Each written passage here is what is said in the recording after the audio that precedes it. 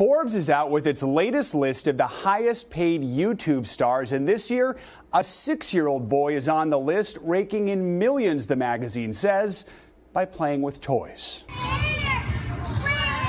Known simply by his first name, Ryan has turned a child's pastime into a very grown up business. Whoa, feel it, it's like a real egg. On his YouTube channel, Ryan Toys Review, the six year old opens toys. Oh!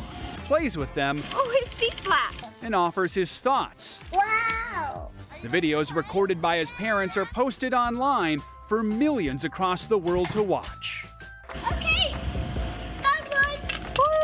The channel started two years ago when Ryan was a mere rookie. Today, he has more than 10 million subscribers and now ranks eighth on the Forbes list of highest paid YouTube stars, by far the youngest to crack the top 10. Forbes, through number crunching and expert interviews, figures Ryan's page brought in $11 million in revenue in a year, money that came from ads and sponsored content. It's a really interesting phenomenon that really anybody with a camera has this potential. Of course, not everyone with a camera makes millions of dollars, but, but there's the potential. Yay!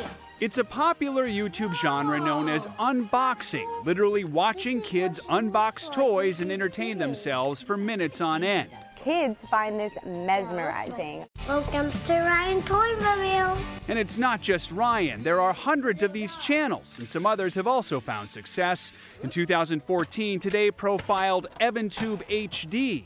Ooh, nice. We've already maxed out certain uh, certain accounts so I think the college, the education is pretty much taken care of. As for Ryan's family, on their YouTube page, they say most of the toys featured in these videos are donated to charity. We thought we'd play a game inside. Oh! They've even started a second channel documenting the entire family's daily life. Emma and Mama.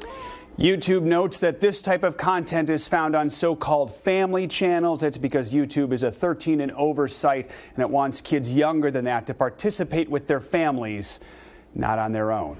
I think we missed our calling, guys. I know. I don't think Ryan gives a bad review. He loves all the toys. Super cute. Yeah. thank you. I think Vale and Haley have got some plans to make. I think it's time. right? Really.